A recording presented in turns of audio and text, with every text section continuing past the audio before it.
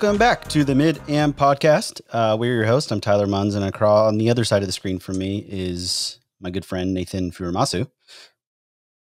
And um, today we are joined by a very special guest, one of my favorite follows on Instagram, uh, Drew Cooper. Um, and if you don't know Drew, um, he's one of the longest hitters uh, in golf that's not like a prolonged drive guy. Um, so we um, we're, we're super excited to to have him uh, on the show just to talk about all the stuff that we um, we talk about as as mid am guys. So Drew, thank you so much for um, spending some time with us today. We really really yeah, appreciate thanks it. Thanks for having me. It'll be fun. Awesome. Uh, well, I, I we I know we sent over um, some questions. Obviously, we'll um, just kind of uh, it'll be more of a conversation, but um, I uh, I'll have Nathan uh, kick us off here, and we can kind of get into your golf story. Yeah, that sounds good. Perfect. Cool. Sorry for the awkward radio silence earlier. I am fresh off of some pneumonia, so I'm like kind of not fully there mentally, but we're we're still, you know, we're here. We're doing the thing. Um, it's okay. There's but, a visual aspect yeah. of the show too, so we got yeah, the wave. I waved. I waved. Uh, all right. Well, we like to start off kind of all of our our interviews that we do together with just finding out um, people's story and you know find out your your history with golf you know how'd you get to be the fastest amateur on the planet or you know right. i think somebody's somebody's deemed you that before i'm sure yeah. so um I'm sure it's not know, true at this point but um well, yeah, like my my golf background is long, I guess. Really, um, my dad was a college golfer. He's got stories of playing against Mac O'Grady and stuff um, in Long Beach. So like he had a golf club in all of me and my brother's hands when we were like really little. You know, a, a persimmon driver with a steel shaft cut down um, at Torrey Pines driving range when we were like five. So we all hated it. We all played basketball and soccer and, you know, surfed and did all that stuff. But like he had it, he had us on golf courses, he had us hitting golf balls. Then I sort of like did the team sport thing all the way through basically until high school um, never touched golf clubs like on my own accord, like never did anything.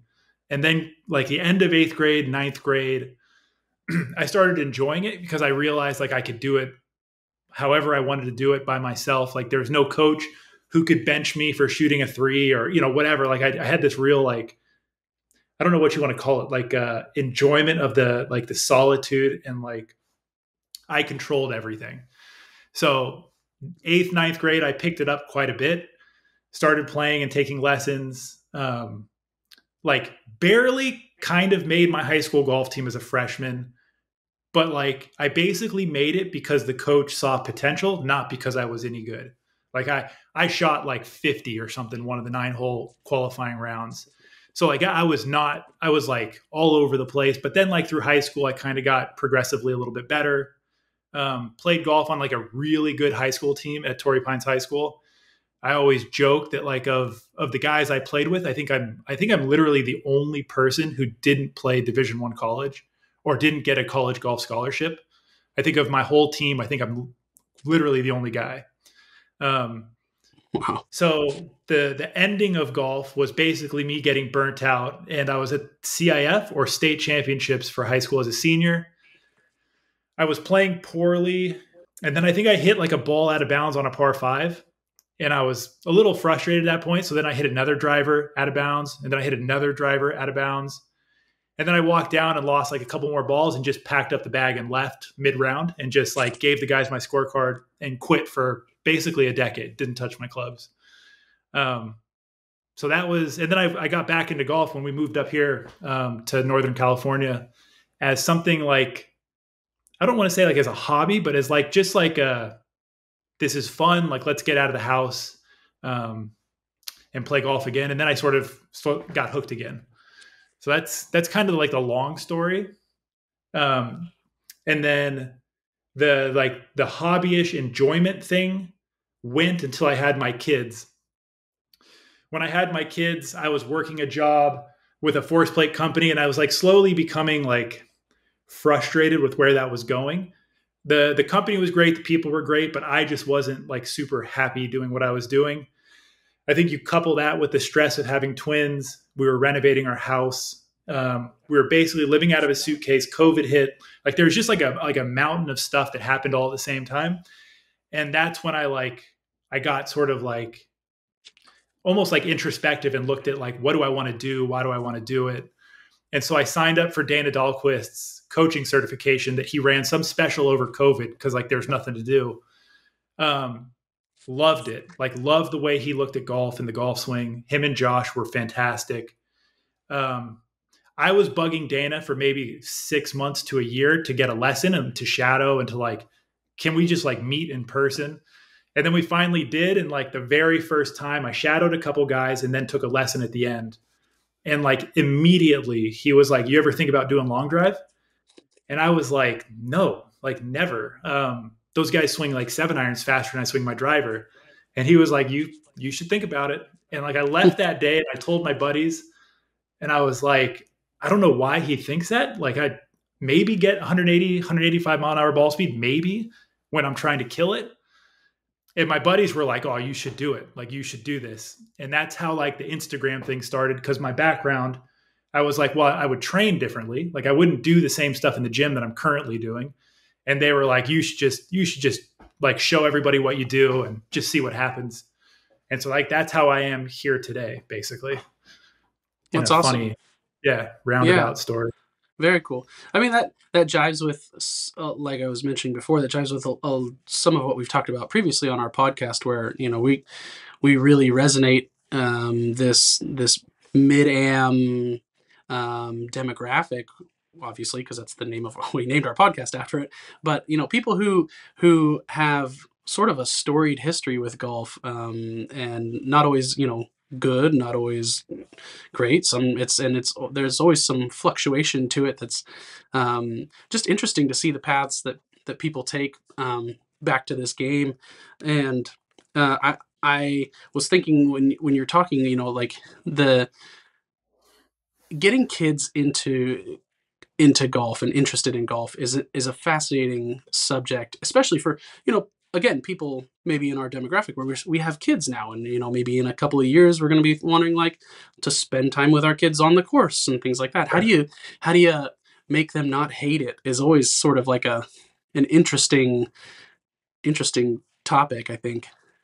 Yeah, like I'm seeing it now because I've got three year old, almost four year old twins, and it like it makes you appreciate like how big the game is, like how big the holes are how just like enormous the whole landscape is because it's like it's a struggle for them to like get from the cart to the green like it's just watching them like deal with like the size of it is really interesting. Yeah. And then like the slowness like you couple those two things and it's it's a little challenging. So like i i take stuff for them to play with like we let them play in the sand mm. um we'll take other balls like, like we'll let them drive the carts even though they're three you know our hands are on the wheel or whatever. But like you basically do whatever you can to make the thing fun because yeah. otherwise it's just like they can't grasp the the size of it all. Yeah well, i think that's, that's good... um i was just gonna say i think that's like one of the the um inter or uh, unique aspects of golf that i don't think gets a ton of like play is is the the pace of it. Like and not just like ripping on slow play but but especially for kids and the in what you're competing with for their attention you know at eh, you know even at 3 and 4 but especially as you get into yeah. you know elementary school middle school age like eh, to to ask someone who is used to having you know their attention span chopped Just up into 10 to 15 second chunks to be like yep. hey i need you to lock in for four and a half hours. Um, that's that's like yeah. becoming tougher and tougher. So i i do think that yeah like the question of how do you get a kid who who you know you're going to be competing with some you know some major distractions um, as as time goes on and it's only going to get worse yeah i mean that's that's that's probably the, the, one of the bigger questions i'd imagine. Anyone in our stage of life um, would want to ask themselves especially if they want to be able to share this passion with with their children. Right definitely. Yeah. I mean i can even make fun of myself like i one of the reasons i quit in high school like at the end of high school was like the frustration of it all. Like you want to get better and you're not getting better or for me, people were telling me I should be better than I am because my swing looked a certain way. And you just like I just got to a point where I was so mad. I was probably too immature. Like I probably grew up a lot between quitting and coming back to where now it's like it's a lot more stress free, a lot more enjoyable than it ever was when I was younger, when I really like wanted to be good. Now it's just sort of like if I'm if I get better, cool, but like it's fun trying to see what happens regardless of what actually ends up happening but it's like it's a, interesting. It's a very mature game. Yeah. Uh, going back a little bit, just on your your your, hi- your history with the game, it, it, as it relates to speed, because I would, you know, that's essentially. I'm not not to boil you down to a, you know, a, a one. You, um, you hit ball one far. thing. um, you know, yeah, one dimensional character, but you are known for your speed.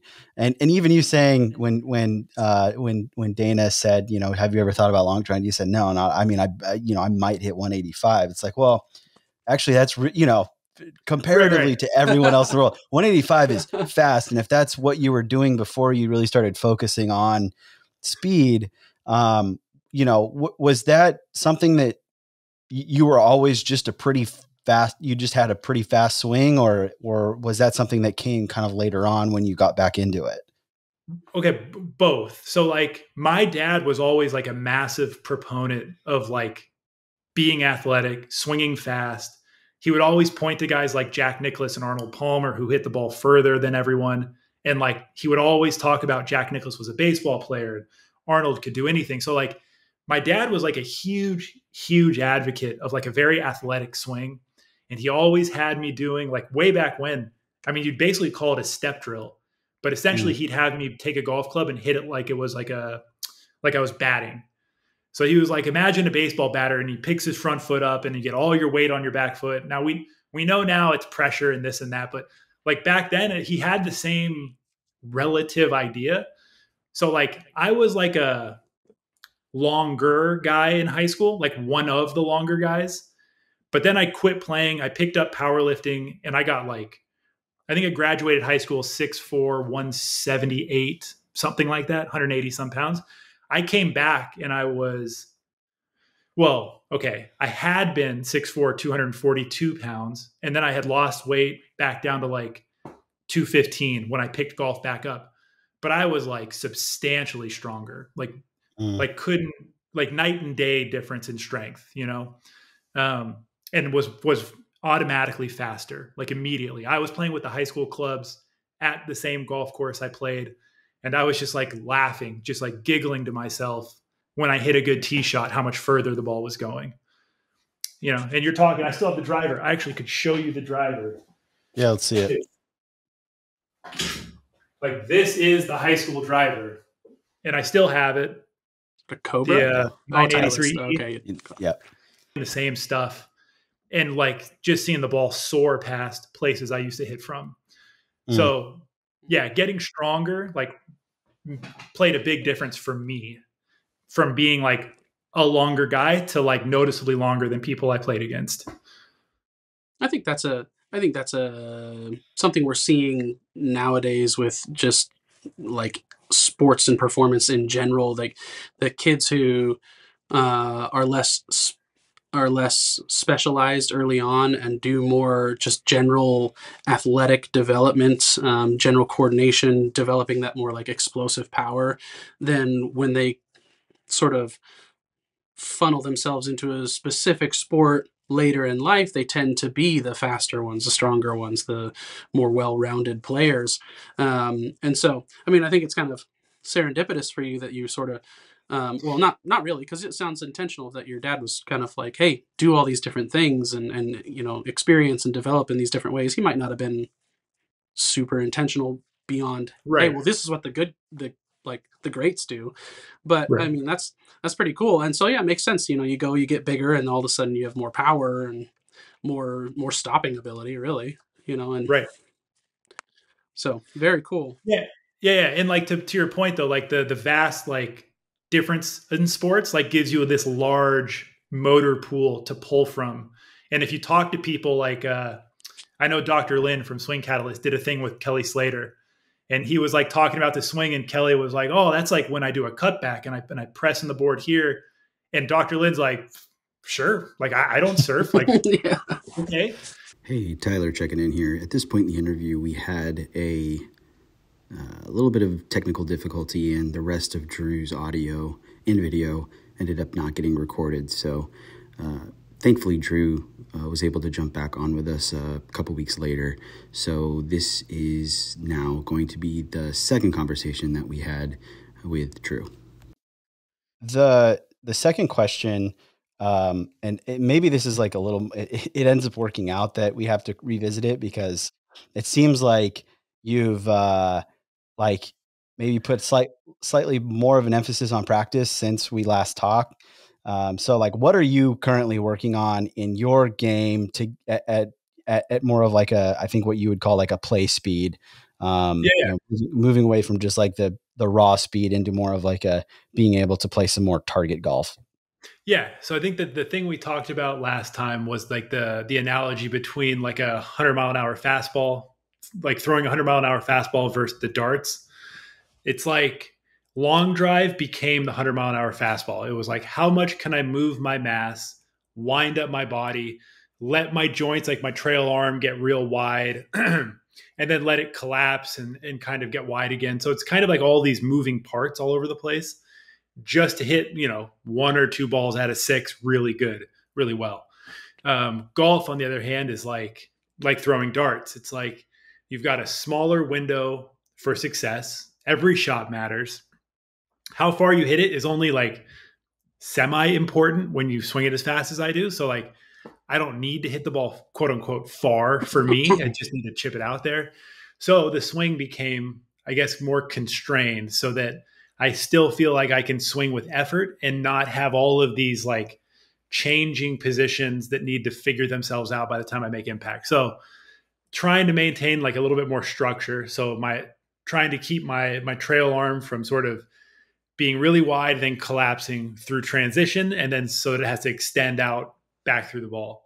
So trying to keep it like I don't know if you've seen the gears or like the athletic motion stuff. Like most tour pros don't ever bend beyond 90 degrees. Yeah. yeah. Most long yeah. drivers get in there at like 30. Like I mean, they're mm. they're like collapsed totally in, and then it comes slinging back out. So that's a big one. And then I'm trying to work on my levels or like my bends and tilts. So I'm trying to stay a lot more neutral and not have things sort of rise and, and sort of extend way up on the backswing and then change all these bends and tilts on the downswing. So I'm trying to stay a lot more in place, I guess you could say. So everything's mm. just getting toned down. That's kind of the best way to describe it. Yeah, it's interesting. I know um, we had touched on, you know, at at the speed that you you are capable of, your carry distances are are you know, I, I had made a joke about you know, one one ninety five seven iron, and you're like, no, no, it's more like two twenty. Uh, yeah. you know, and then I'm like, God, it's like, dude, then that means, you know, your your shortest stock yardage, so to speak, is it's probably like what 140. So like being able to like your your your touch game really where for most people probably is like, you know, 40 to maybe a hundred yards you have like right. an, an additional 50% to try to to try to to to to deal with what i mean what is that you know how, i mean how do you, how are you practicing that? What type of systems are you developing as someone who has to like consider maybe like a 130 yard shot a like feel shot rather than a stock yardage? Yeah that's that's really funny you say that. So there's i guess there's like two main things one of them's equipment so for a little while there i was doing like the bryson you know, thousand under the number of the iron is optimal. So like mm. if I'm hitting a seven iron, the spin rate, you know, under this thought process is 6,000 RPM 6, is a qual is a quality seven iron. That works really well, like on a launch monitor. And when I'm looking at the ball, like it looks really good, but it means my nine iron was almost going 200 yards. So mm. like it becomes this thing that I've done is I think eight iron and below for someone like me, those irons shouldn't be launching and spinning at optimal ball flight numbers. Like I think I want a very soft nine iron and a very soft eight iron. So I've got, I now have a pitching wedge that's 48 degrees. So it's like an old school yeah, pitching wow. wedge. Yeah. It goes like cool. 160, which I, you know, if I hit it hard, which is mm-hmm. wonderful. um, the vast majority of my game is driver and then like 150 and in. It's like there mm. there very rarely is a par four or five where I'm hitting something from 200 yards plus. It's it just doesn't happen that often. Um, so one of them is just equipment, just realizing or at least trying to figure out is this a good idea to kind of go super soft in the pitching wedge nine iron and maybe even eight iron, so that I have you know five six clubs under 200 yards instead of like three so that those feel shots are now like interspersed with like a 61 degree wedge, uh, 56 and a half degree wedge, a 52 degree, and then the 48. So I've got like these, this build out of lower end stuff that helps me with that. And then the second thing is like, I don't want to say it's stack and tilt, but it really feels like that to me. Uh, to go back to what we just said, I'm just moving around a lot less. I'm trying to keep things from from collapsing. So I'm not trying to lag a club. I'm not trying to let the club get close to me on the downswing. I'm trying to like feel like Steve Stricker. Um, and like I don't move my pressure around. I don't move my hands around. It's just kind of like this simple chipping motion. And so that's that's the goal. Like it's good sometimes, but I still struggle because I don't get to practice enough. So it still feels very foreign. Um, mm. The, the best club in my bag is still the driver when I just go back and swing it like basically like a long driver because it's the mm. most most thing I, uh, the biggest thing I've practiced and the most comfortable I am. So it's still a struggle. Yeah, I I was thinking about what when you're kind of explaining that that it, I almost feel like it must be harder um, to. I mean, you're used to a certain amount of stretch and load into the system, and then and that's what your body then has kind of attuned itself to be like. Okay, we load and and fire, and now to essentially reduce everything you still want to load the system so you have to keep everything tighter but you don't want to load it as into like as greater ranges um, and you know the the live you did with matt yun and then his buddy jt thomas i think they they always are talking about like kind of the fascial system and loading your slings yeah, yeah. and stuff like that and and uh, from what I know in my in my background, it's like that's that's really fascinating. I almost feel like it would be way harder because it's easy to feel a stretch sensation if your hands are way up. You know, you can really yeah. feel it. Versus, how do I feel a stretch when I'm within my normal range of motion? You still have to have some tension, and then figure out a way to to kind of tension it a little bit to still, um, you know, produce a swing. Yeah, the same feels like the same tempo, rhythm, all right. that stuff. Yeah. Um, it makes me appreciate and like understand maybe why Bryson likes that feeling of like end range, like why he likes to do a lot of those weird, like internal shoulder, external, yeah, external wrist. supinated wrist, yeah, right. And so like I, I can kind of understand that. the The only way I would describe it now is like the the feeling of gaining tension is the same through like the the big segments of the body, the shoulder, the hips, the thoracic spine, like the trunk, but then like the wrist, the elbows like the hands don't get the same loaded feeling. Mm-hmm. So like I'm trying to get some of it and then take some of it away. So there's still some like normalcy to to it, but it is it is a challenge. And this is where like the thing to me is like there is no swing that's going to make you a great golfer. Like at the end of the day, you just have to practice and get a hang of whatever it is you're doing because it's always going to be there's always room for error and issues somewhere. Sure. Um, it's it's funny because in I, I'm seeing a lot of this fascial stuff kind of coming into the forefront of golf instruction. But I mean, I uh, I in my field, you know, the Anatomy Trains book has been was what like 2000 it was 2008 or something was published. It's, like it's not new at all theories or anything like that. So it's kind of fun to see it kind of uh, trickle into this industry.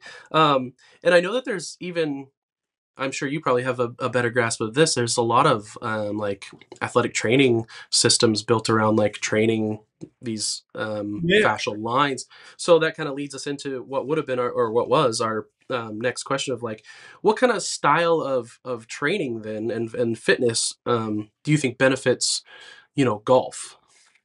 Yeah. Uh, okay. So last time it was like, what what's yeah, you kind of said that, and it was loaded question. I was like well to to a degree it's it's a loaded like it's a difficult one to answer but it's also sort of easy so like it's difficult because there is no one way like for me versus you versus my dad like our training histories our medical histories what we're capable of is all different.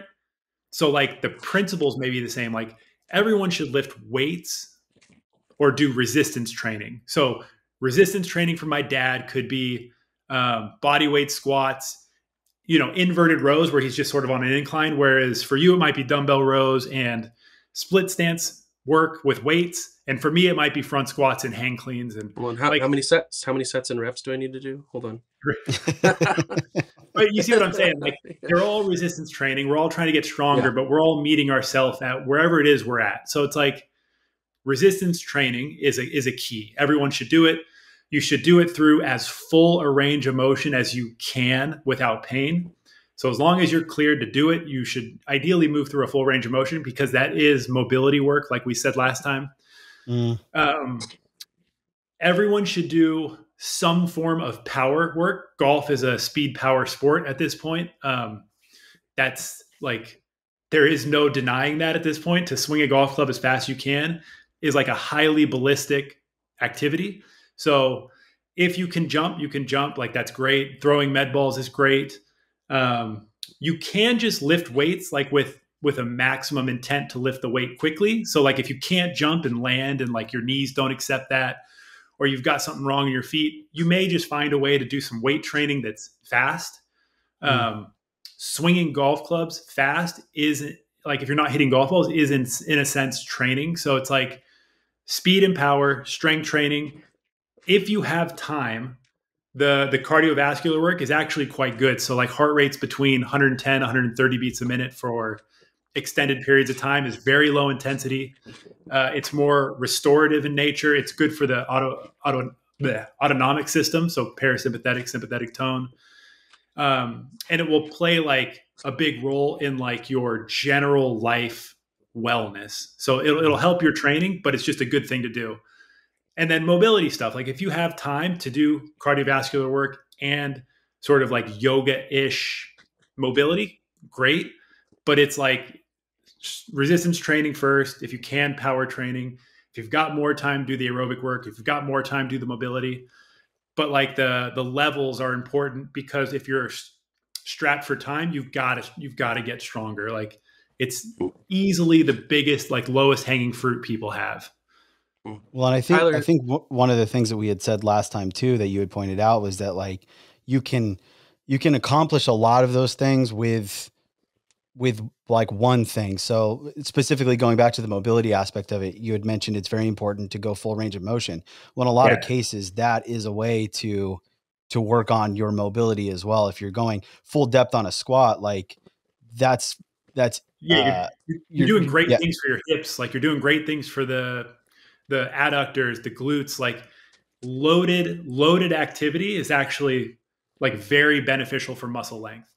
Now, if you do it like old school bodybuilders and like lift to failure, do burnout sets, um, like assisted reps, like that will make you more prone to feeling tight because you'll get mm. sore. The more sore you get, like there's going to be novelty in soreness. So, like the first time you do a new activity, you'll get sore. That's fine. But if you're doing things consistently of like very high weights and very high degrees of failure, you'll tend to build some like muscular tone and tension. So like there is some stuff you don't want to do all the time, mm-hmm. but in general, like really well, like just good planned resistance trainings, like easily the best thing you could do for yourself by far. Yeah. Since we last spoke, Tyler has become a an expert in the WECK method. oh shoulder, man, the shoulder. well, I've, I've got such bad shoulders. So yeah. someone, uh, uh, someone was like, um, yeah, dude, have you ever heard of Indian clubs? I was like, no, I don't know what that is. And so I got some, and then I just do like this basic like five minute routine every day for like you know, and and like my shoulders have never like literally never felt better uh, since I was probably a, like a child. Um, right. And then they're like, "Hey, dude, if you want to step it up, check out the RMT Club from WECK Method." And so I was yeah. like, "Whoa, that looks neat!" So I got that yeah. too. So I've been I've been messing around with that um, as like a way of of kind of more of like the explosive training that you had mentioned. You know, more power stuff. Um, yeah, I'm I've I've been I've been digging it. It's it's been interesting. Yeah, and some of the cool stuff about the like the Indian clubs is just like getting the shoulders and stuff to move is like pumping blood through the joints getting yeah. synovial fluid moving, like just moving around under load is a good thing. So it's like people don't realize the benefits can be so simple, but so like widespread that it's kind of ridiculous. Well, and especially with the mm-hmm. Indian clubs, I, I was surprised because I, I, you know, I got the two pound, the two pound yeah. Indian club, and I was like, there's yeah. no way, there's no way that this is going to be beneficial for me or that I'm even going to feel it. And after like, you know, I, I, try to do like 20 reps of each movement and then move on to the other one. You know, like the first time I did it, like by 10, I was like, oh my gosh, this is burning pretty good. like two yeah. pounds, you know, when you get two pounds, like all, all the way extended out, um, you know, concentrated in the head of that club, it's like, yeah, you, you kind of feel that. Yeah. Surprising. I've got, yeah, I've got the two pounders just back over in the gym over there. Yeah. I thought the same thing when I bought like a five pound mace bell was like, yeah. oh, that that'll be that'll be a nice starting Easy. point. Like, yeah. oh my gosh. yeah, it's wild. But yeah, yeah. so we we do the same things with our guys in our next year group. Like we do these things we call general strength circuits, and it's essentially like if, if you can imagine. So it's called a pillar series. Uh, pillar, yeah, pillar pedestal pedestal series. So it's an old track and field thing. Um, but imagine holding like a front plank, front plank on hands, uh, supine plank, supine plank on hands. And if you try and hold yourself with your with your arms behind you, so elbows or shoulders extended, forearms on the ground, butt off the ground, like just hold that for a few seconds, and you start to realize a like when was the last time we we put ourselves under tension with extended shoulders? It's like never. Grab Most of the guys in the group fourth can't grade. even hold the position. Like they can't even get themselves there with their butt up. And so it becomes this like, okay, now we're going to hold on the side. So people look at it like it's a plank, but really it's like a massive upper body shoulder. Uh, I don't know what you want to call it, a chest opener, but basically just loading the shoulder through a whole bunch of range. And everyone's like, oh man, I feel really good after mm-hmm. that. And you're like, yeah, you just you just sent blood and tension through an area you've probably been sitting like this for the past two decades. Yeah. And it felt pretty good. Well, that reminds me of something else that you had mentioned uh, in our last conversation. I think we'd asked you about, you know, what are, what are some things, and actually this will probably lead into our next question, but it's like, what are some things that people get wrong or, or maybe put too much emphasis on? Um, and, you know, one of the things that I had said is I, I feel like, you know, everyone tells you how tight your hips are and you got to loosen up your hips for golf. And you said that, that there's probably a different part of your body that is it, that's too tight that you need to develop mobility in that would that would actually be more beneficial from a golf perspective. Um, would you do you, do you want to maybe get into that a little bit? Maybe if, if you know what I'm if I'm yeah I'm yeah. So to. for me, like when you look at a golfer's mobility and what moves through a huge range of motion, it's typically the shoulder, like the scapular thoracic joint, and then like the glenohumeral joint. So the, the shoulder blades moving across this the, the back. Um, if you can imagine like this is my my shoulder blades on the back of my body. They need to upwardly rotate. They need to like uh, protract and retract. Um, so they, they have a bunch of like shoulder blade movement and then the the shoulder needs to internally and externally rotate. It needs to flex and extend. Like the shoulders and neck and thoracic spine move so much in comparison to the the hips. Now i don't think any of us would say the hips like don't matter right. but if it were again, like a choice on time, I would spend the time up top well before I would spend the time at the hips. Now, again, for general like life and lifting weights, the hips are, are vitally important and they're important to golf. But for swinging a golf club fast, being able to move the the arms, um, what is it? The golfing machine? It's like the yeah. power accumulator number whatever. uh, is it the second second accumulator? So it, they, they, attribute a ton of speed to this this lead shoulder, uh, adducting across the body, getting turned into, and then flinging off the chest. Um, so yeah, shoulders, scaps, and then like if you if we can consider basically from like your belly button to your neck a joint mm. instead of like 12 just consider like the way all of those move together is like that's where I would do my my work, kind of chin to belly button, basically. Yeah, and I think yeah. I made this point last time that like the the actual amount of range of motion necessary to make a good golf swing in the hips is a lot less than than people think it is.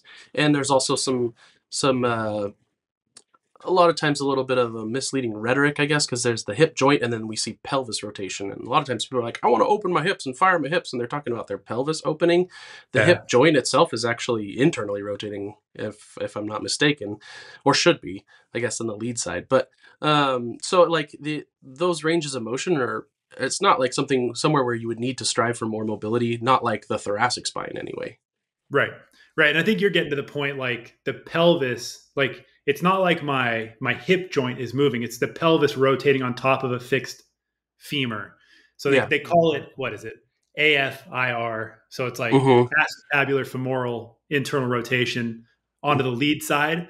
And then to the point of like not needing a bunch of uh, mobility. Like if you don't have that much, the foot is allowed to Jordan Spieth peel to the heel or rainbow and like come off the ground. Like those things are allowed in golf. Like you, you don't get punished for having a foot that moves around like Scotty Scheffler. So like you can't do that in the upper body, like move around stuff, but you can at the feet. So like you can let mm. the feet kind of swirl around and move around them. So like in, in all reality, you probably don't need all that much range of motion at all. Really. On the on the the along the lines of kind of misconceptions, um, because obviously I think that, I mean, that right there is something that pe- people probably haven't really thought of. Um, but going more back to speed, because as you said, and it's no secret, speed is king. Um, speed is, is uh, what's taking over the pro game, elite amateur game, obviously. Um, when we're seeing, you know, guys like Nick Dunlap come out and win tour events, and that guy hits it a pretty pretty long way. Um, what uh, what misconceptions do you think the average golfer, you know, your average like kind of weekend warrior, 14 handicap kind of guy, um, has about speed or, or what it takes to generate speed or you know where where speed comes from whether it be from you know misconceptions by golf digest and you know golf magazine or or you know things we're seeing on youtube or instagram um, you know what, what would you say to to that person in regards to what they may believe about speed that might not actually be true. Yeah, well, I'd start like usually the conversation starts with like if you're somebody who argues that speed is important and like putting is golf and like you know uh, I, how many comments have I gotten like well Dustin Johnson three putted the the 18th green at the the U.S. Open and lost and so if you're one of those people like speed doesn't make you a good golfer but it's becoming the foundation at which like good great golf is built off of so like everybody on tour is faster than your your average amateur, and there's a mm-hmm. reason for that. It's like everybody in the NBA is taller than your average person, but being tall doesn't make you good at, at basketball. It's just like a it's becoming like a foundational prerequisite. So like mm-hmm. we're not saying like if you're not fast, you can't play good golf.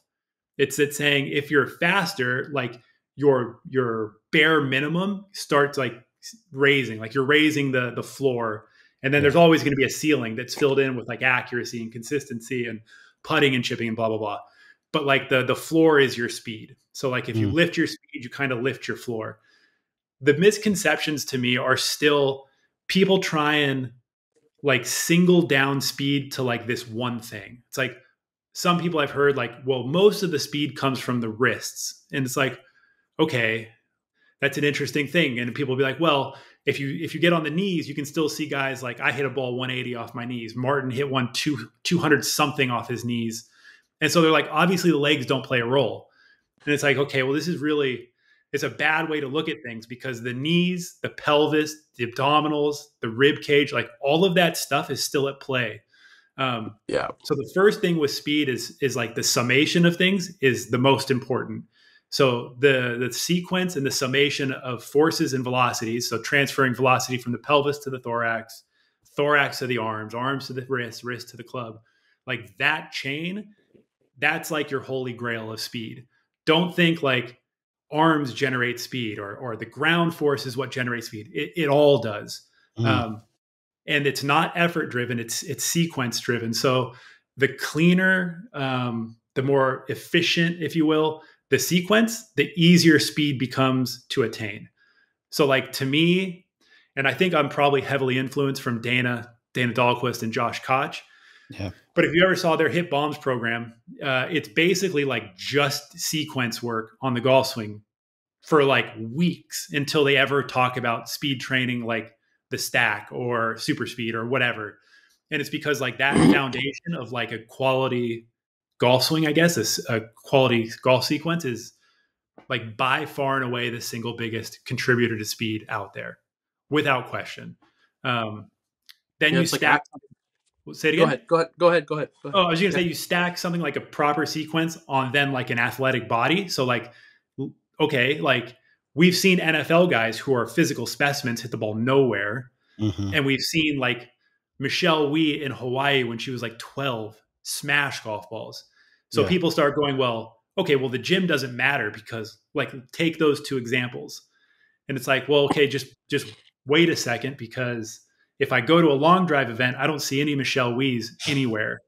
And there's a okay. reason for that because again, like we're talking about baseline capabilities. So like the bigger the stronger you are, the more potential you're going to have for speed.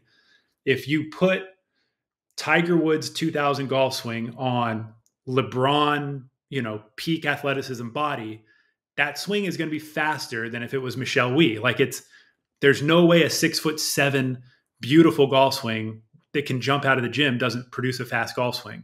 Yeah. So it's like this these misnomers I think are more foundational than like, oh, I'm going to do speed work, um, you know, three days a week instead of four days a week. I think people just get the wrong idea that speed is like this this one thing with the arms or if i do this one move like speed's going to jump. And it's like it might but like the the secret to speed is like the whole picture. Like that's that's where like i think when people get sort of obsessed with what i do and why the speed looks kind of easy and you just start like checking things off like the kinetic sequence i have is good. Like not only is it good but my force traces are very clean. There's no jaggedness in like the outputs the kinematic sequence is good. I'm 6'4, 230, you know, like I basically just start stacking all these things. And it's like, of course, like I've got the ability to hit the ball far. Like it's, I didn't mm-hmm. do speed work four days a week and I still hit it far. When yeah. I do speed work, I just kind of start swinging a little faster. It's, it's always like, look at the whole, to me, that's, that's the missed part. Like, look at the whole thing. So yeah, it's almost wanna... like, oh, go ahead. Oh, I was just going to say, like, so it's almost like that um, it's not just like speed; it, it's speed at the right time. It's speed uh, in, in, in the you know from uh, from a se- well sequencing. I mean, you said that, but just from like right. a, a, a, a you know a, a, a range of time, like the the speed or the force being being maximized at the right time. Because it's like, yeah, if you have um, you know, an, a, Bosa, Nick Bosa out there swinging a club, I'm sure he has the capability of generating some insane speed. But if he doesn't do it at the right spot, it's not translating to ball speed because he's probably lost all of his speed out here. And if you right. do that, there's no way that you can regain it coming through. So um, I, I think that's very interesting because I think so many of us, myself included, it's like man all right I, I just i gotta i gotta learn to swing faster i gotta learn to put more effort into my swings and like swing with intent to be swing faster you know get you know get mm-hmm. stronger mm-hmm. fast twitch muscles like all of these like hype keyword you know uh, that i've heard all over the internet but it's like dude if you're not swinging if that's not all happening at the right time doesn't unfortunately it kind of doesn't matter right yeah it's like that's I was gonna say it's like it's like the people what people get wrong is they are asking like what part of the whip is most important to creating a, right. know, a whiplash? It's like well all of it. You you all can't you can't lose a section of it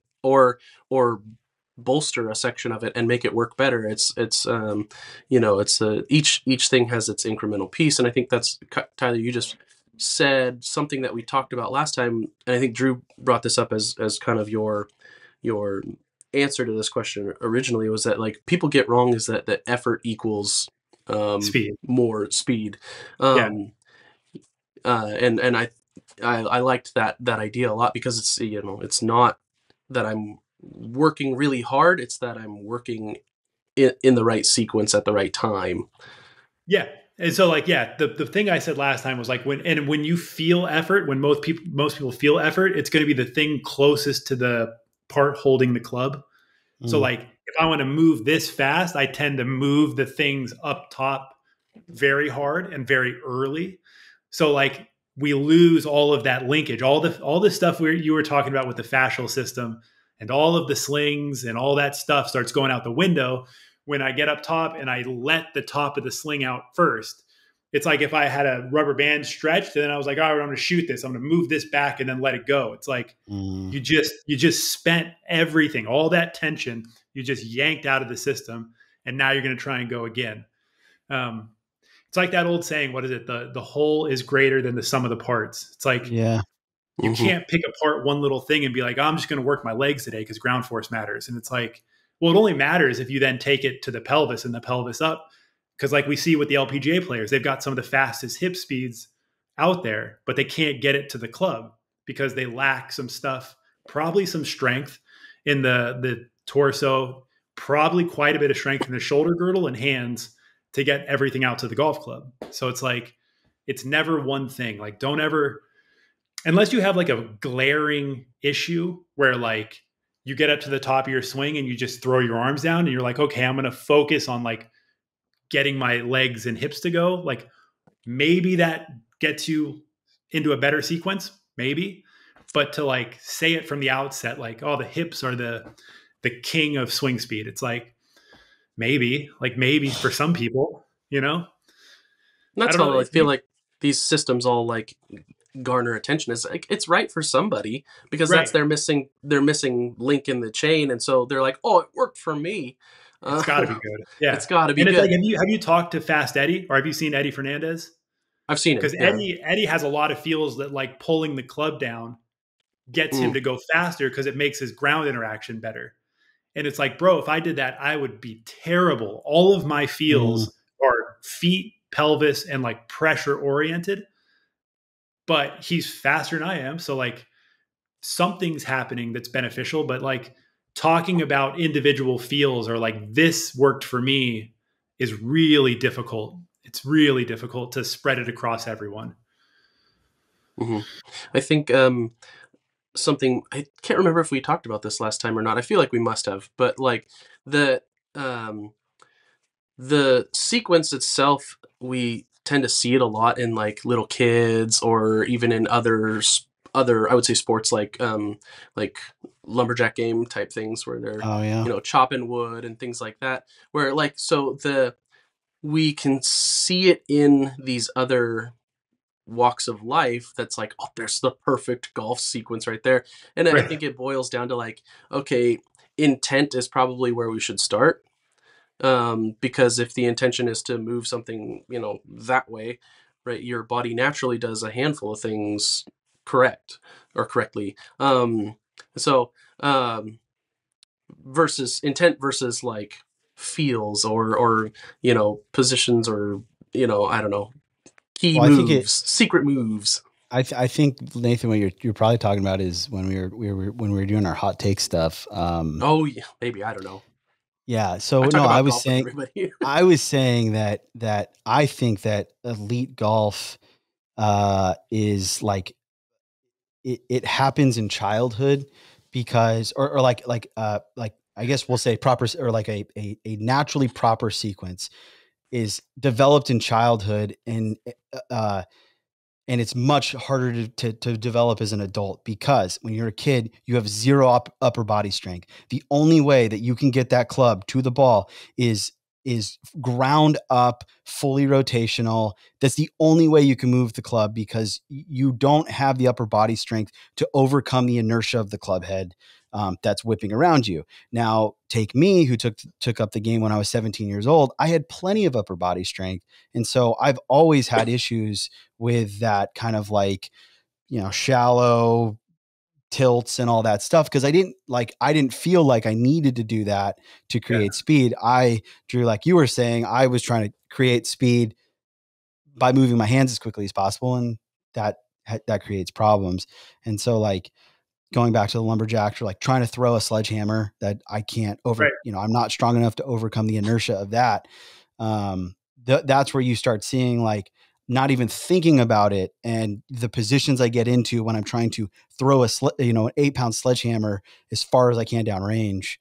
um, that looks better than my golf swing it almost every single time and i'm not even thinking about it because yeah. that's not my my goal isn't positions my goal is get it over there knowing that i can't i can't really force it i kind of have to like allow it to happen right yeah and like you said you guys see it in everything so like you can even watch a shot putter and like you'll see them do a lot of the same things you see long drivers do. They'll start to like like get a little momentum going like the kyle berkshire walk but they'll sort of like rock forward rock back and then start their spin because if they just start from a dead stop there's no energy in the system. So like all of these things you see golfers like waggling back and forth to get something going. Like uh you see it in a pitcher's wind up throwing the leg up and back and like all of these sports do the same things they just do it in the the context of their sport but i think you're right tyler like if we got everyone to go pick up like a 20 to 50 pound medicine ball and said, let's see how far you can throw it, like all of a sudden, everybody's going to like pressure shift early. They're going to like throw the med ball forward, let it come back, shift forward and throw. And yeah. like all of the pressure stuff's going to clean up because it, it has to. There is no choice to throw that thing unless you you do everything well, use your body well. Um, so you're right. I think kids have that advantage where it's like, oh God, this is this is heavy. Like if I want to move it, I basically have to move it with my body and hold on for dear life with my arms. Yeah. can't just take it and like zing it with their hands and hands and arms. So it's a it's a good point. Yeah, and to our point today, then it's more that's just like the foundation, and then as you get stronger, then you uh, continue to move well, but then move faster. Yeah, yeah, Stacking. faster, and you start adding like if if golf is the goal, you start adding things like structure to make it more easily repeatable. Um, if your goal is long drive and just maximum speed, you basically just keep it going and like make it a bit exaggerated. You just kind of keep trying to pump it more and more. So it's kind of like that's where things start to diverge. I think that's like one of the things that was interesting with my little journey is that with Dana, like we just kind of got faster. And then like around the 140 mile an hour club speed thing, things started to go mm. in different directions. It was like, oh, well, long drive, we're going to do this. And like for golf, we're going to do that. But like from 120 to 140, it was all my golf got better, my swing speed got better, and then all of a sudden it was like, oh, this is these are no longer things.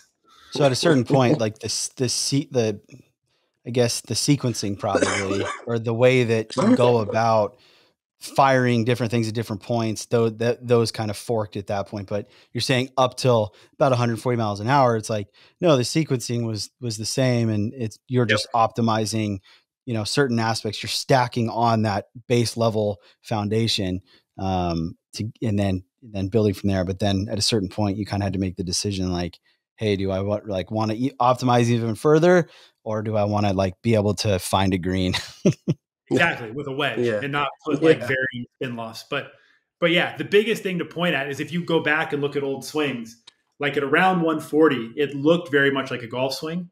And then beyond that, it started to get very much like up and across, trail arm flying and trail arm collapsing. Uh, levels in my head. So like I would stand up, squat down, stand up type of thing. Um, all of that stuff just got more and more pronounced beyond 140. Hmm. Which, so yeah. I mean, we pretty much, you know, I got a little ways to go. Tyler's pretty much there. Yeah, easily, dude. Right around the corner. yeah. If you add up, yeah, the swing speed of my driver and like my pitching wedge, it's easily 140, dude. Like not even. it's like might be 150. I don't want to brag, but I'm pretty quick. Um, I, I, think we've kind of answered this question about you know what's the most effective vehicle for developing speed. I mean, I would say just listening to you talk, um, you know, it's it's develop a, first and foremost develop a sequence. Um, and I think as adults, um, we, when we were talking with um, uh, Kim earlier today, you know, she had mentioned that you know, hey, if if you're if you're pressed for time and you really want to get better, like find a coach. So find yeah. someone that and you've worked with Dana for quite a while. Um, it's like, hey, find someone who can help you develop that sequence because if you don't have a good sequence, everything else you're gonna you're gonna do is is at the very like best not gonna be help it's not going to help you optimize and at the worst you're probably just going to maybe potentially lead to like injury or you know develop even worse of a sequence um yeah, but it's, yeah, it's like building on a bad foundation Right. Mm. But then assuming you have that, then it's like, okay, strength training is probably number one. Um, yeah. and then you kind of work down that list of, you know, getting in towards like more, you know, the power work and then speed work and then, you know, into your mobility, depending on the amount of time that you have. Um, but it all really it seems like it kind of goes back to, man, if you don't have a good golf swing from a you're sequencing trouble. standpoint, you're cooked. Yeah. Yeah. Yeah. You just, you just put a cap on yourself. It's like putting a governor on a golf cart. Like you just like hamper your ability so much that it's it's unbelievably difficult to overcome. Now you can, like we see people out there with really goofy golf swings swinging fast, but most well, I would I would probably say none of them can play like high quality golf. Yeah. You know, mm. they've got ridiculous engines and they they swing fast, but the ball's going every which direction or like high and low, contacts bad. So it's like it's like a thing of goals. Like if you actually want to be able to play at all, you've got to have like a, at least a decently good golf swing, in my opinion. Mm. I don't I don't know how to organically get here. I don't remember what line of, of questioning we got to get to this, but this was something that you said was really interesting um, that I, I, wanted to make sure we covered again. Um, and I guess maybe it goes a little bit back to the idea of like, um, you know, maintaining a certain baseline to prevent injury. Um, but understanding like the oh I now remember. It's understanding like your capabilities as a as a person um like your physical capabilities. It's like hey I would love to be able to swing the club like um, Dustin Johnson does or Joaquin Niemann or whoever, but I also can't move the way that those guys move. So there's a potential for for injury there if I'm pushing myself too hard um, and not understanding the limitations that I have because I'm not a professional athlete I don't have the time necessary to dedicate to all of those things that you had mentioned um, previously.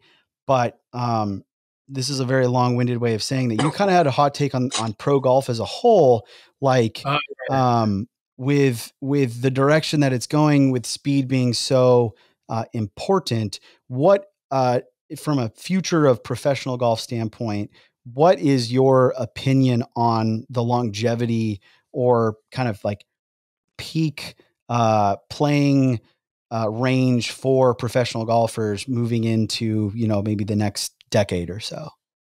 Yeah, I think golf is going to move like basically every other speed power sport to be a younger, shorter lifespan sport at the elite level. Like mm-hmm. there's a big difference between stepping in the the ropes at the Masters versus like playing with your buddies on Sunday. Like it's there's a huge difference between playing 530 yard par fours regularly mm-hmm. and having to to score on those holes regularly versus playing the you know the 350 yard par four that we get to go have fun on. So, in my opinion, golf's going to be sort of like all the other sports: tennis, football, um, pitching.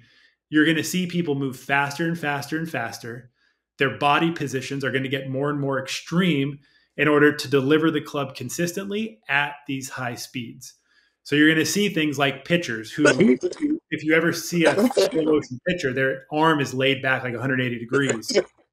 Like that stuff is not bad, but it's not manageable for a long period of time. So mm. people, I think, are going to start blaming these golf swings and say, "Hey, like so and so got hurt. Will Zalatoris hurt his back.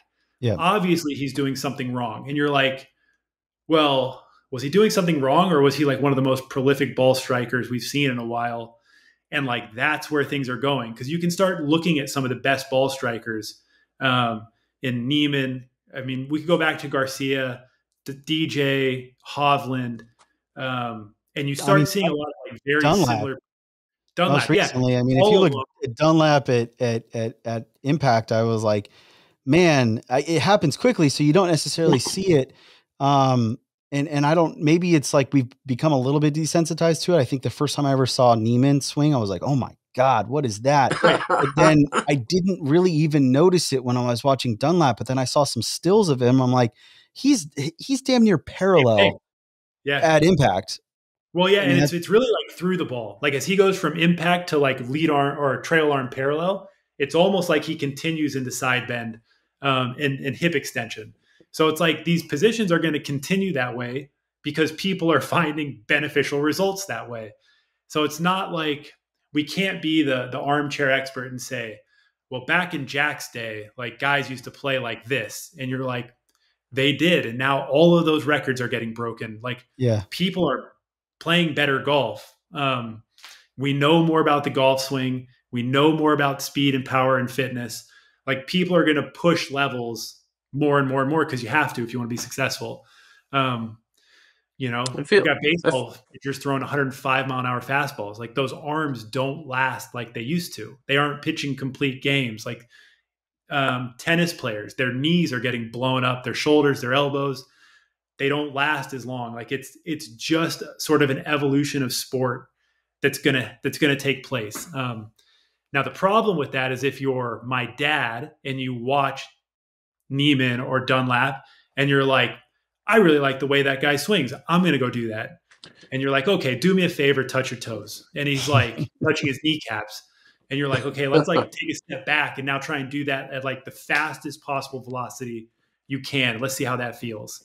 So yeah. it's like, it's really, it's an interesting place for golf because so much of golf gets influenced by the professional game, equipment, swings, styles. Um, that the, the average amateur, I think, is going to have less and less relatability to the Tour Pro from a learning standpoint, from an equipment standpoint, from a playing standpoint. So it's going to be an interesting thing because it's like, when do you turn on an NBA game and be like, oh, I should go do that? It's like, I know I, I can't do what they do. Like, it's not even close. And I think golf's going to move in that direction. Yeah. Um, I think if we were if if we were paying attention back you know early 2000s or even late 90s i mean tiger was it's pretty easy to draw a line with tiger in in like old golf new golf kind of if you want to. Um like before him the careers were 20 30 year long careers on tour and guys they were so long they were so long they had to create a separate league for cha- they had to create the champions tour because their hmm. careers were so long. Yeah. They're like, you know what? We got to give them something to do at 50 yeah. because they've got more in the tank. And it's They're like, still going. Like, Bernhard's could you imagine Joaquin Niemann on the Champions Tour? They'd have to, no. they'd have to move that to 35. Yeah.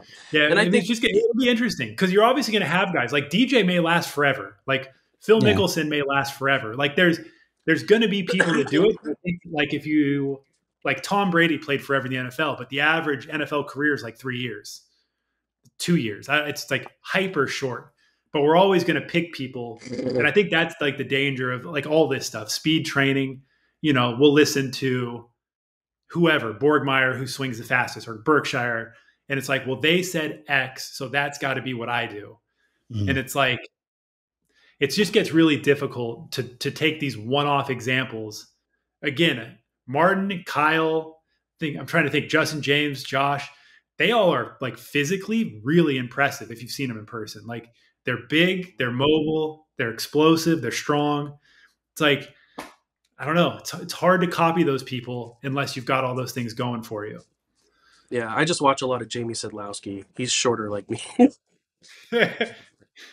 he's, he's right. short, but he's a freak. You right? You see he's, he's amazing. 550 pounds, right? Yeah, he's, oh, he's huge. crazy strong insanely so it's strong. Like, it's it's all it's all funny because it is like we'll point at Tiger and be like, well, his knee was blown up because of what he did with his like the lead leg extension, and you're like, maybe maybe it was a Navy SEAL crap he did and like all the yeah, running it might, and it might have been the ten miles a morning. Could have been yeah, that, that, too. That probably wasn't smart. Um, we can't yeah, ever so, know for certain what Tiger was doing with those pleated pants back then. I mean, they were just balloons, like true. yeah, billows. yeah, we don't know what was, was camouflage for sure. We don't know what was going on under there. That's a good point. Um, yeah, I think golf. I think golf suffers from that, like picking out these little, like one-off examples and trying to make a a point with them, rather than looking at like the entirety of the tour or like the entirety of college golf and being like, wow, there's like eighty percent of these guys side bending like wild. That's yeah. interesting. Yeah. Like let's let's not pick the one guy that got hurt and say, well, obviously it was side bending was bad. It's like I don't know. It seems like it's a, a thing for a reason. I don't think he's doing it yeah. because it's bad. Yeah, I think I think though too. It's like under. I think more and more people. This is the idea of like everything's not for you. It's like, hey man, right. and I've I've I've learned this as I've gotten older that it's like, hey, like I have to accept that I can't do. There's just things that I can't do. I just can't do it, and so like asking like me going to my coach and saying like hey i want to be able to do xyz but here are some things i know that i cannot do so let's figure out a way to work around that so that i can try to get as close to this as possible, but also like be able to walk tomorrow. Um, right. and, and like, I think more people, um, you know, to your point saying like, it's, it's not a great idea to look at, at, at a certain, like one data point and say, and, and then draw conclusions from that. I think, you know, like just still images or, or two dimensional videos of swings is actually really detrimental to, to your understanding because it's like, you look at a position, you're like, cool, I'm going to get there. But it's like, you know, there, there was a whole, like, there, there's a whole, like, one and a half second period of movement that yep. got them there. And like, if you don't know how any of that worked, then like just recreating that and then being like, all right, I'm going to try to get back there and yeah. manufacturing that. It's like, you're, you're, you're not, it's never going to happen. You're more, you're more than likely just going to hurt yourself. Um, yeah and yeah, so I, I, think I think it's a really interesting take that it's like, hey, you know, the idea of uh, of you know a, another guy like Phil Phil Mickelson winning a major at 50 years old, uh, 51 is yeah. probably not probably not in the cards. Uh, right. Moving forward, yeah, unless you're a freak like like LeBron. LeBron's a good example in the NBA. Guys like never really been hurt. He's played forever. He's played tons of minutes and like, if you can explain to me how he never got hurt and Kobe got hurt, like every play he was on the court, like I'll listen, but I don't think anyone knows. It's just sort of luck, genetics. Yeah. Like Kobe and LeBron aren't training. Like LeBron's training isn't so sophisticated that that's what saved him. There's there's a host of like genetic and luck factors in there. So like you never know what's going to come around but the chances, the odds are getting smaller and smaller, in my opinion, that that's going to happen again. Yeah, no, it makes total sense.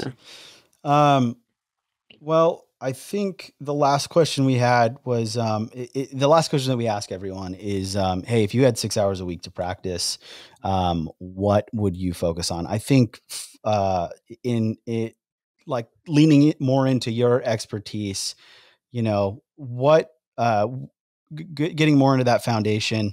Um, you know, what from a from a training standpoint, outside, uh, you know, off the golf course, in the gym, um, where where are and, and you may have answered this a little bit already, but it's like, hey, if I have an hour a day at the gym, what should I be focusing on in, in uh, with with the intent uh, with my intent being I want to get better at golf. I'd like to swing the club a little faster.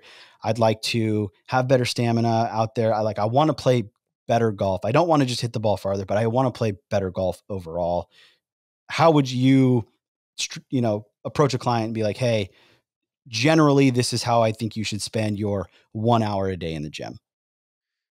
Yeah. Okay. So if, if now if you're giving me full control, I would take a half hour from Tuesday and Thursday and give it to Monday and Friday. So I'd have, oh, or, or actually, take Tuesday, Thursday, Saturday, and give some of that time to Monday, Wednesday, Friday. So I'd have three hour and a half long sessions that are like proper warm up, power, weight training days. So okay. like you really like take your you do it you do it well. proper warm up where you're sweating um, before you start your training. You get in and you do like ideally again it's hard for me to say this if you're healthy enough to sustain like jumping you do something powerful to start each one of those days and then you do like basic lifting so you would go you know like if you want to follow an old protocol there's like a um, a heavy light medium so you kind of go like big lifts on monday light like body weight single leg single limb uh single cables on on wednesday and then like a medium day on on Friday, sort of like this wave undulating type of thing. Mm. So that's like a simple one to go to, and like that's how I would do it. I would go kind of like big lifts on Monday. Um, preferably, you've played your golf Saturday, Sunday, and like you've got all week, so you can kind of get after it on Monday. Yeah. Um, Tuesday, I would say like if you're your golfer, do your mobility work. Go home or go to the gym for 30 minutes and do either a what you like or go through these general strike circuits that we have um, at next year. Like there, you can look them up. I think on YouTube. I think there's pedestal, pillar. Um, God, I'm going to forget the names. Waterloo. There's there's these exercises that are old track and field stuff, mm. but it's essentially just putting your body through range of motion, uh, moving the extremities in sort of like I would call them weird positions because mm. they're just not normal for most people. Um, but it gets you out of like the desk posture, the the the forward forward shoulders, um, rounded back, and it gets you out into something new. So that would be my Tuesday, Thursday. Um, Wednesday again, be the light day. Again, split stance work. No, you don't even need to do power work. You can do med ball slams or something for the arms if you want. Mm-hmm. But like uh, split squats, single arm rows. Uh, you could do inverted TRX rows, push ups, mm. handstand push ups, um, feet elevated push ups, dips, body weight, body weight related things. Thursday again, general strength and or like yoga ish mobility. Um, Friday, you're looking at things that are like challenging front squats, RDLs, but like mid rep ranges, eight eight to twelve reps. Um, looking, it's almost like a bodybuilding type of day. You're really like developing muscles. Gotcha. Moving through a full range of and doing. Say it again. Hypertrophy type stuff, almost. Exactly. So it's like heavy light, and then hypertrophy, basically. Yeah. Um, Saturday, Sunday. Again, now if you're going to play golf Saturday, Sunday, maybe the hypertrophy day gets pushed a day forward on Thursday mm. so that you have Friday to do your mobility stuff, relax, and then do your golf. Um, if you've got those the same hours on your golf days, I would just give it to your golf and just go to the go to the range, go to the short game area, and take that hour and just put it into your golf and then just have the week as your your your body work and then the weekend can be like specifically golf enjoy it um, yeah. you want to do something that you can maintain and enjoy doing more than the thing that's correct that you hate doing so yeah. For me like when i when i have time i would much rather go to a golf course like a nice golf course and just hang out like that to me is a, a lot of fun so i like to free up my time if i can that reminds me of one thing. One, one last thing that you had said uh, last last time we talked was um, uh, uh, is is showing up and being available. Um, the best. Uh, yeah, the God, best ability is availability. Best ability is availability. So you know, and going back to the thing that you said very early on in just this conversation about being about soreness, right? Like um yeah. that it's like man if, if you're if you're constantly sore if if you're creating your own barrier to continue being consistent by you won't yeah by either training too hard or like forcing yourself to do things that you hate you're not yeah. going to do it and so it's like it's better to do like like the not optimal thing um that you enjoy that you'll keep coming back to than it is to like have the most optimized uh you know regiment for, you know that's down to the minute but you hate every second of it um 100%. the chances of you yep. following through that are so much less yep it's the same thing like with any psychology dieting if you're like i can't have carbs because evil and it's like mm-hmm. do you love bread like do you love some of that stuff if you do it's fine go eat it like if you don't want to do it because of some reason you can try it but like the best diet is the one you follow 90% of the time yeah. um, same with training like i i get these these things from people who are like uh, yoga is dumb pilates is dumb and i'm like dude, if, if somebody loves doing that and they're not going to do anything regardless, then it's fantastic. Like, go do it. Mm. Um, obviously, if you came to us for work, we would nudge you in a direction that's more resistance based. But like, if if we got somebody who's like not happening, then we'll do the best we can with what's available. We'll let them know sort of the pros and cons of the choices, but we can make things work. Like you can make a lot of things work. Um, and like you said, it's way more important to consistently be active, way better for your body, way better for your golf um, than stopping and being sedentary. Terrible. That's a terrible thing, not just for your golf, but for like your general well being. It's a terrible thing to be sedentary. Life. Yeah. Yeah. Makes a lot of sense. Well, hey Drew, um, thank you so much again for for jumping on with us for the second time. Um, yeah. This conversation was was just as fun and just as enlightening as the first. Uh, you had mentioned next year um, a few times here. That's that's the uh, you know that's the um, the, the company like that you work for.